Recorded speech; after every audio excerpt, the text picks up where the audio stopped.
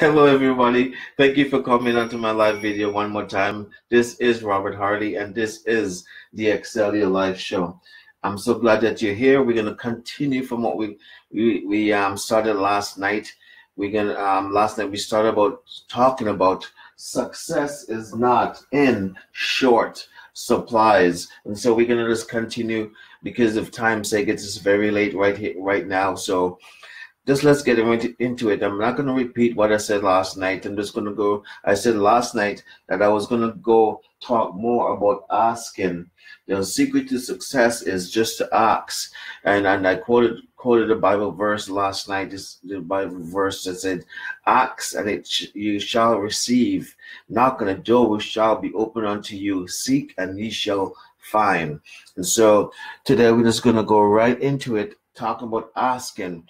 Now, the one, one, number one thing that you have to do when you ask, when you ask God or the universe, whoever you want to say, when you ask God for something, one thing you have to ask with intelligence. Ask with intelligence. Now, what do I mean when I say ask with intelligence? Now, this is when I say what I mean by asking with intelligence. Oh, actually, Okay, let's. Um, I cannot jump my head myself here. Jump. okay, ask with intelligent. Okay, when I when I said when I when I said I mean, yeah, when I say that, what I mean is ask. Be clear about what you want. Be very specific about what you want. Be um, you know, how high, how wide, how fast, how big, what color, how much. Define what you want and describe it in details what you want. So that's what I meant when I said ask in detail. I'll go over I'll go over that list again. I know I'm kind of going a little fast, but I do I you know it's very late. I want to get to bed and and and, and I, I don't want this video to be too long. So I'm kind of speaking a little faster than usual. So the so so number one thing in, in two ways about asking is one you ask with intelligence what i mean by that is you be clear about what you want be very specific about what you want.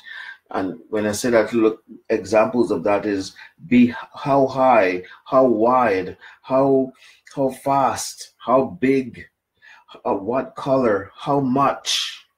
You know a lot of people when they ask for for for example money they just said oh i want to i know i want so much. I want to get some money to pay off bills and pay off that, but you have to be specific. Um, you have to have a specific amount. And sometimes even when they say, "Oh, I want a thousand dollars," a thousand dollars is not really what they want. They maybe want ten thousand dollars, but they don't. They don't see how they're going to get ten thousand dollars. Maybe they have more faith for a thousand dollars versus having the faith to build. They can't see themselves or see how they're going to get ten thousand dollars. Maybe they might see see how they can get a thousand dollars, so therefore they ask for what they see they can get. But if they can't see how they're going to get that ten thousand dollars, they don't have the you know faith to ask for that amount, so they ask for less. So I know I know I'm guilty of that too in my own life. But you know, those kind of things we have to change. This kind of mindset we have to change. You know, you know, I heard I think was Donald Trump in one of his book, um, Think Big and Kick Ass. He has has a book by that title. He said one thing in that book. He said a lot of people when they're when they ask him how much money they, they want to make, and he got them a list and and um, let's say you want to make ten thousand dollars, a hundred thousand dollars, uh, two hundred fifty thousand dollars, five hundred thousand dollars, or a million dollars. A lot of people will go for you know the two hundred fifty thousand dollars or the hundred thousand dollars. But but he said if if he's gonna have, if someone have give him that choice, he will go right to the million dollars, you know, or a million dollar plus. You know, he said that that's he'd be his choice right away. He wouldn't even think about it. And and but a lot of people you know they won't even think of that. They was only thinking the level that they're at. You got a thousand dollar level that's what they will believe in god for or believe for ask for you know. So how much? Define what what you want and describe what you want. Describe it in detail the number two about ask about asking the thing you have to do with asking ask with faith ask with faith Ask with faith. Believe you can get what you want get you want as a child. Have that childlike faith when you ask. You know, children sometimes when they come and ask their parents for something, they just ask them expecting to get it ex, you know, just they, they don't have any any worries about where it might come from, you know, or how the parents going to get it for them. They just ask because they just believe the parents can get them get it for them. So you have that childlike faith. Even Jesus Himself said that you, you know when you when you ask. um um, when it comes, you know, about having childlike faith, you know how important it is to have that childlike faith. I forgot how I forgot the exact words, but have that childlike faith when you ask for something. Have that childlike faith. So, um, but the, the three the three points you're asking is asking is the beginning of receiving. Asking is the beginning of receiving. Asking start a unique process. Um, mental and emotional.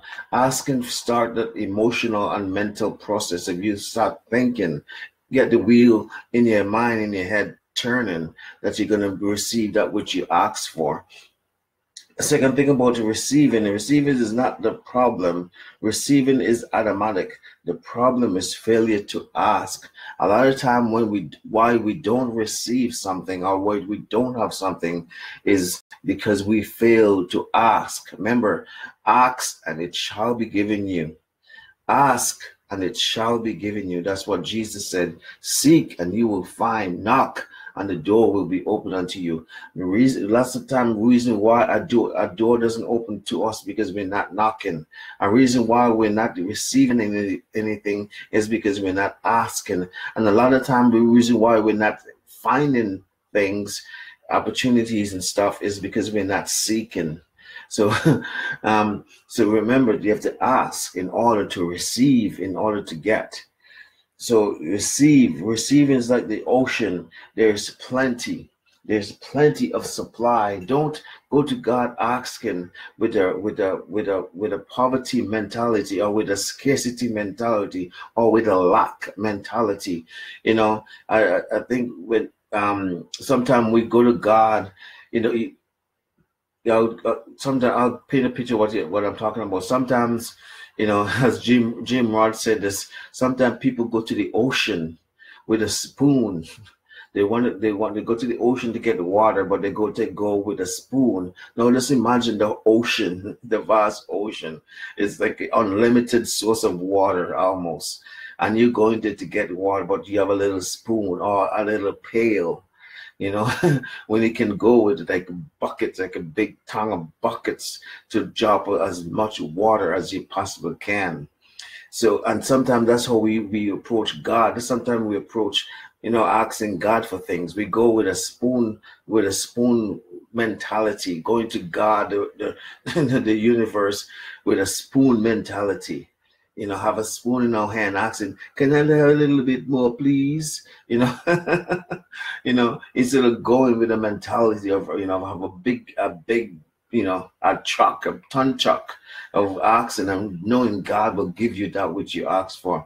So ask, ask, God, God is God is there willing to give you that which you ask for, but ask in faith and be specific about what you ask for because that's how you get you get things into into you. And that's how things are given to you is by asking.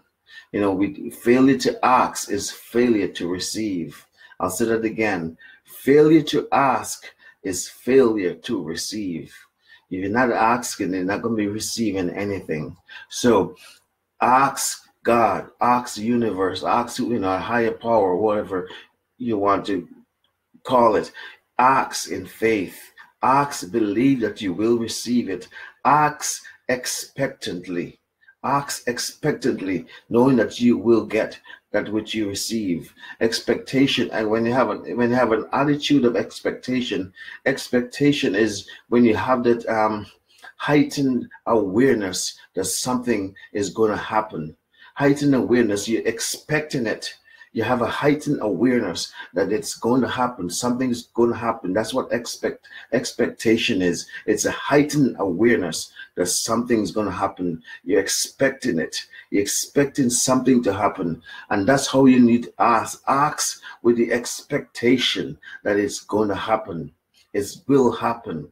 You know, Jesus says, if any two of you um, on earth touching anything that you should ask for, concerning anything you ask for, you can come in agreement asking for anything, it shall be done to you. So you just need one more person, or maybe two, two other person to, to come into agreement with you and ask. And God was Jesus it will be granted unto you.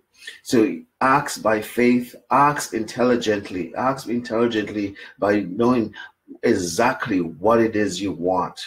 Ask and it shall be given to you. So success is not in eh, is not in short supply. Success is available to all. Again, I don't want to repeat what I said last night. If you missed last night video, go back and watch last night video. It was very powerful, very good. And so you know, go back and, and, and pick up from what I talked about last night. And tonight we're just gonna go talking about asking, how to ask and how to receive. Asking is the beginning of receiving. If you don't ask, you will not receive. Anyways, we're gonna stand it. We're gonna end it there tonight. I, I hope you guys get something out of this. I am again. I didn't want this video to be a long video because um, of time. It's after one one p.m. my oh almost two o'clock in my time. You know, I mean I'm going from Pacific time, and it's almost two o'clock my time. So I didn't want this video to be a long video because I need to get to bed um, because it's so late. So anyway, thank you, thank you everybody for joining me. Let me say a shout out here. Um, Neil, thank you for joining me. Neil V. Edit, Edit, thank you for joining me. Sherik, Sherik, thanks for joining me. Nimno, Nimno, thanks for joining me. Um, I don't know if you pronounce you guys' name correctly. If I do, if it if I did not pronounce your name correctly, please forgive me. Anyway, thanks for joining my live video. Thanks for if you're watching the replay. Thanks for watching the replay. I really greatly appreciate it. Please like the video. Please share the video, and please leave a comment on the videos. Again, if you're um, if you're living in my local area, I live in in the um, the Greater Vancouver area, Vancouver, BC. Canada. Uh, if you live in my local area, I am having a my first ever con, a seminar, first ever seminar on March March 14th from 1 to 3 p.m. at the Surrey Central Library, room 401.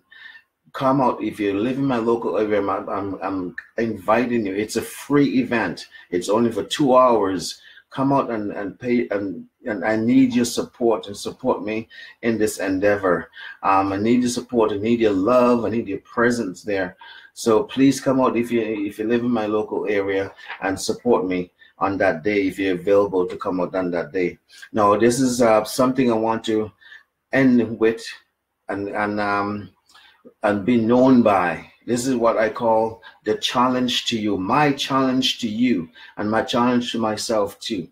So I'll try to, from now on, try to end all my live video by quoting this. I forgot to do it last night, so I'm, making sure that I forget, I remember to do it tonight.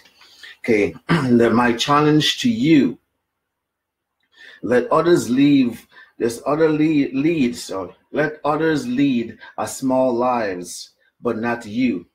Let others argue over small things, but not you. Let others cry over small hurts, but not you.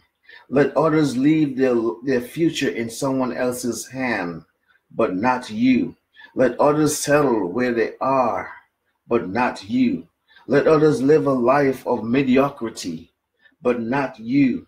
Let others stay in their comfort zones, but not you. Let others live their lives in, in fear of the unknown, but not you. Let others let, let fear of failure and fear of success holds them back, but not you. Let others count, let others be content to add to the wealth of the graveyard, but not you. You be the one to rise up. You be the one to take a stand. You be the one to to go to to make changes in your life. In your life, you be the one to go after your goals and your dreams. You be the one. That's my challenge for you tonight. You be the one.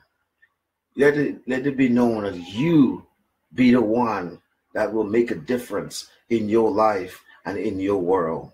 This is Robert Harley. I'm signing off from tonight. Thank you for joining me. God bless you. I love you. Peace.